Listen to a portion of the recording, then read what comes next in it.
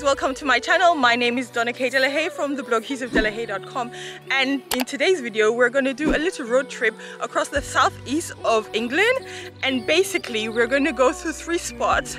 The first one is just behind me and this is the Ouse Valley Viaduct hope I'm pronouncing that right. And then we're gonna go on from here to Seven Sisters and then to Brighton. So we're gonna be seeing a few spots along the southeast of the UK. So as you can see, this is our first stop here and look how gorgeous this bridge is. I'm just gonna zoom in so you guys can see. How gorgeous is that?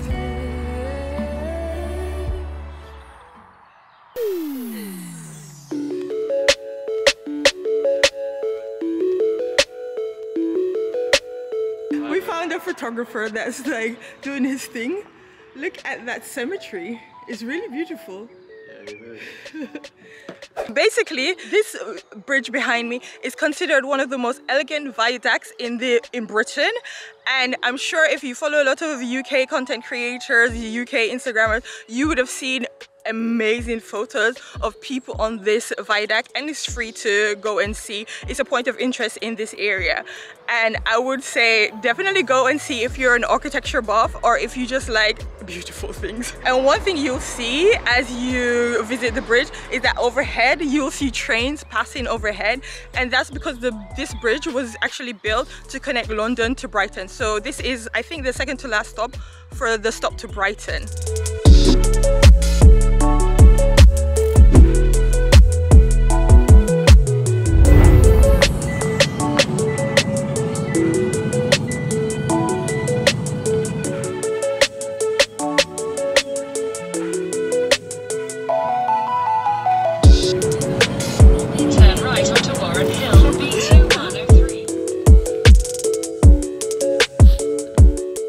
Beachy Head is one of the most popular stops in the Seven Sisters and it's England's highest chalk cliffs measuring 530 feet. Immediately east of the Seven Sisters, this dramatic headland has beautiful views over the ocean and the sisters.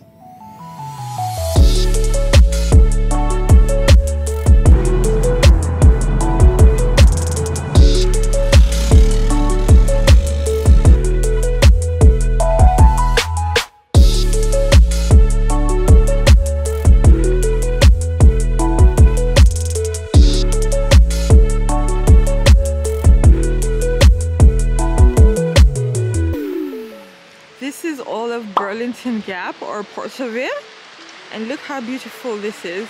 And you can see the tide has come in because the water was way closer to the beach.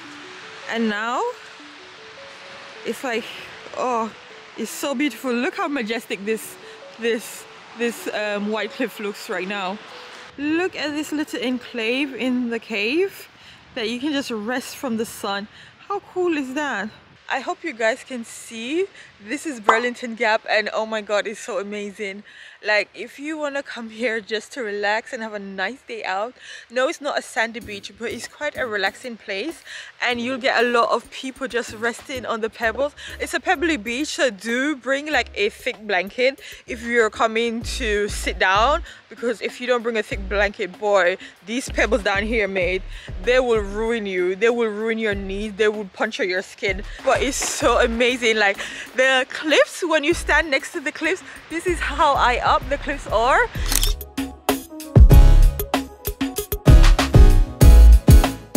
And then there are people on the top of the cliff, so people that are doing the hike here are like literally at the top of the cliff all the way up there.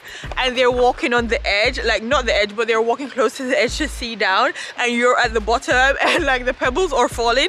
And I can hear them fall. I was like I hope this is not the thing falling down. But it's like it's so amazing to be out in nature. And as I said the water like the um, tide has gone out. So you can see all the rocks. You couldn't see this when we came like three hours ago but the tide has gone out and look like all the you can see all the rocks and it's gone all the way out and it's also cleared up. So another thing you will check for is make sure that if you want to come on a visible day definitely check the weather because when it gets foggy the visibility is kind of reduced. So if you want to come and see the beautiful cliffs and have a nice day definitely definitely plan your trip and definitely check the weather because even though it's nice when it's foggy it's not that great if you want to take photos if you want to really see all the cliffs and see how magnificent they are come on a, a high visibility day. That's what I would recommend for you guys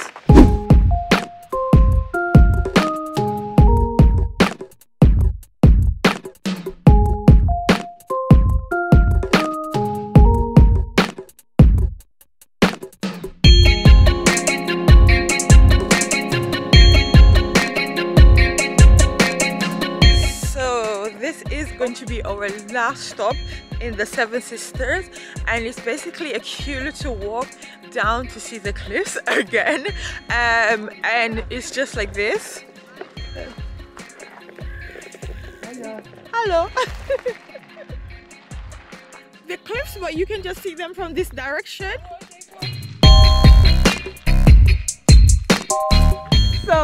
Guys my battery just died on my camera so i'm using my phone so hopefully the audio is good but right now you can see behind me we're at seaford head and it's going to be uh, my last stop in um, the seven sisters in the south downs.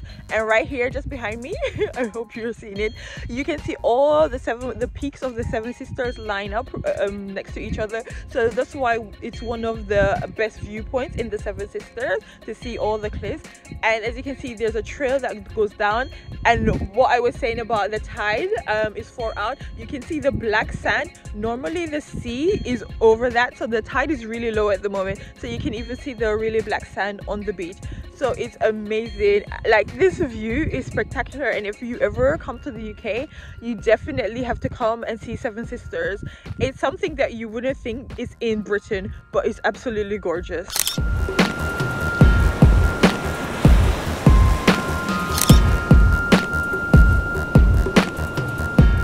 Our last stop on this road trip was to Brighton. However, by the time we got to the town centre, it was packed and we could not find anywhere to park our car. So we just decided to head straight back to London. As I can visit Brighton anytime, there are direct trains from London Bridge, which is quite close to my house.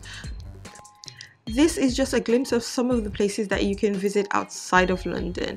And if you want more guides or a detailed guide to the places that I visited on this road trip, then check out my blog at huesofdelahaye.com. I have a comprehensive guide in visiting Seven Sisters, giving you all the best bits and all the best advice on how to see the cliffs and some of my top tour recommendations. I also have a ebook on visiting the Seven Sisters. And I have more road trips coming up to explore even more of the UK. So definitely stay tuned, hit that like button and subscribe to my channel and definitely turn on notification to see when I drop another video. And thanks for watching.